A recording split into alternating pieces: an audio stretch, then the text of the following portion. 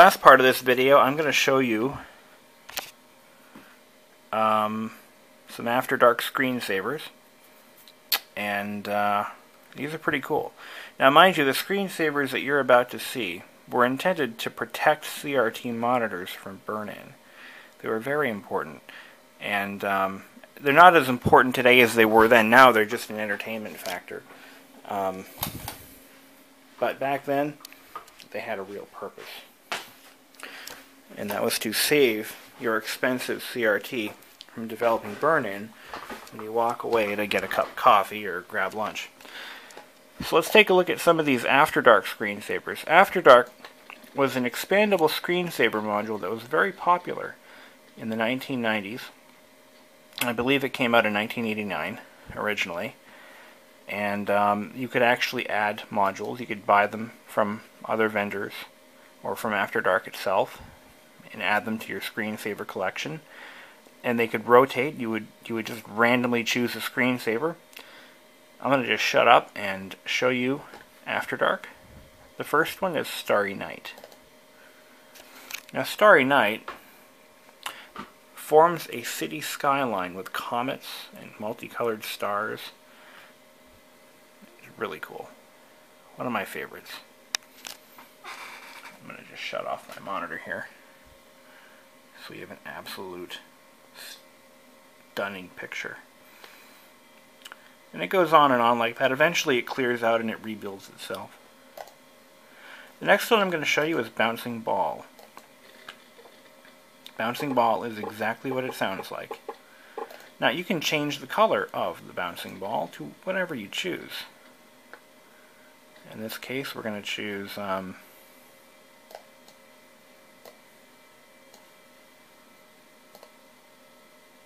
Oh, here we go. Let's do a red ball. It shows up well on camera. Even has sound effects. Can of Worms. Now this one reminds me of the Langoliers. I'm sure you can see why.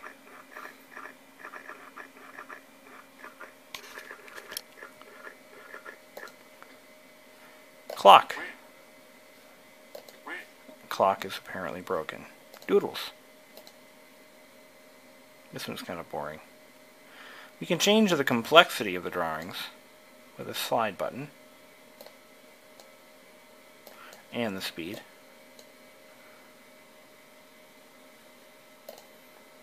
Pretty cool. Down the drain. This one I, I'm really not really sure about. Oh, I see. The, I can't. Oh, I see. I didn't. I didn't see this before. But there's actually drain holes in the center. They're covered by this box. Cool. Fade away is exactly what it sounds like. It causes the screen to fade over time until it fades to black. Next one is fish. This is one of my favorites. It includes um, sound effects, which are pretty awesome for 1991. And the sea floor actually sometimes has seaweed on it. But I can turn the sea floor off. Just like that. So it's just fish. I can change the number of fish. But the more fish you have, the worse it runs. And the old 68030 processor we've got going on this machine. So um, we're going to bring the complexity down to 6 so it runs a little better. I love it. It's one of my favorites. Flying Toasters, which was a rip-off of a Jefferson Airplane album cover. Quite famous, actually. It's been parodied many times. But this is the original Flying Toasters.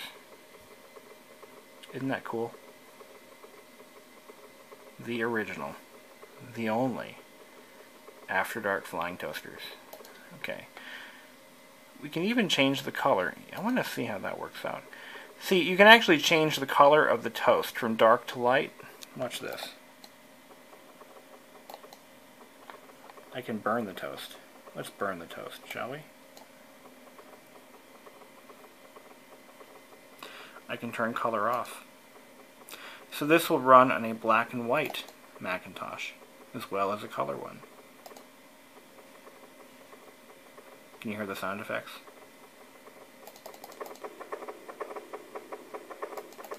Ain't that grand. Um, hard rain. It's actually colored rain. Um, can change the drop rate, drop life. Lissajous, I think this one, no, this is the lines, the geometric line pattern generator, like a spirograph and it's really awesome. They're all really awesome. Logo it just shows the um, any logo you pick. You can pick anything you wish, uh, but the default logo is Berkeley Systems. But well, let's do the robot. Uh, that's pretty cool.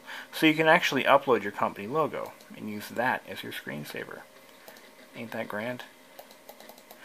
Messages, well this is a lot like the um, Microsoft Windows message, only this one's a little bit different. The Windows one scrolls from left to right. This one kind of gyrates. It can kind of float. You can scroll it too, like this. And apparently it has sound effects too.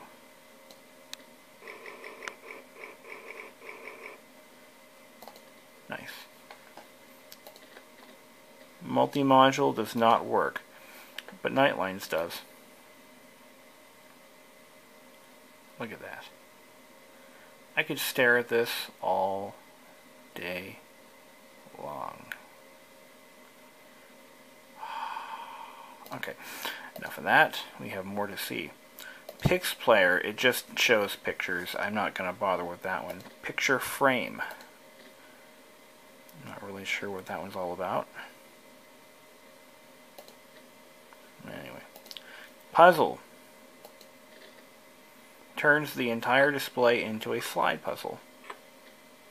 You can also invert the screen too. Neat. Rainstorm is exactly what it sounds like. And that's what it sounds like. It's got lightning too. Okay. Randomizer. That's just random screensavers. Rose. This one's neat. It builds a colorful rose or flower-like pattern behind the screen, and it is just dazzling. Alright, enough of that. Satori. Now this is one that I found a Windows equivalent that was like an acid trip. I mean, you you could just follow this tunnel of shapes and patterns. You could just sit there and, and, and, and just lose yourself in the screensaver. This one is not quite as, as, as fancy, um, although it's, it's interesting, but uh, you change the resolution to to a much higher resolution. Nevertheless, this is really cool. And you can imagine, now you think, 22 years ago, this was high-tech stuff. I mean, this was crazy high tech. I mean, to have something like this on your desk with this screensaver. Now, this was a $5,000 computer system. The screensaver alone was about a hundred bucks. I mean, it meant you had some money. And that was in 1991 dollars. So, the slideshow, you have to load images into these to make them do things. Spheres. This one's kind of cool. It shows like, they look like Easter eggs. They're spherical. That's why they call it spheres. And uh, it just shows, you guessed it, spheres. Spotlight was one that I liked when I was growing up. I had a teacher that had this as a screensaver, and I just would stare at it, and then she'd yell at me, pay attention to class. I didn't care. I'm looking at the spotlight, bitch. Alright, so that's that. A Starry Skyline it may be an older version or a different version from the stars one we saw earlier. Some of these are quite similar. It does the same damn thing. String theory. It just shows these uh, wild geometric stringy pattern things with rainbow colors. You change the color speed in this one so the colors change more rapidly. You get the idea. Supernova. It's like a bomb going off. That's the idea.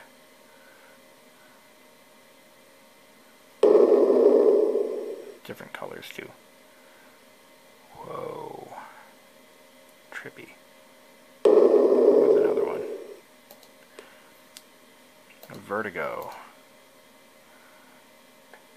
I'm not really quite sure of this one.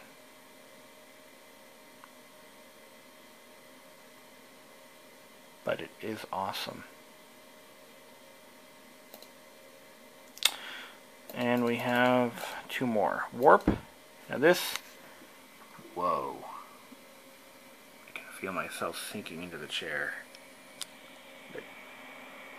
Wow. Alright. You can also make it black and white if you choose to do so.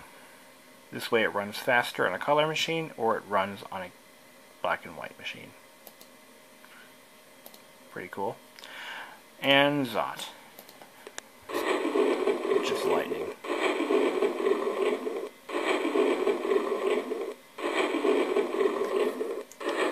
Now I have it set to its um, maximum. We can change that.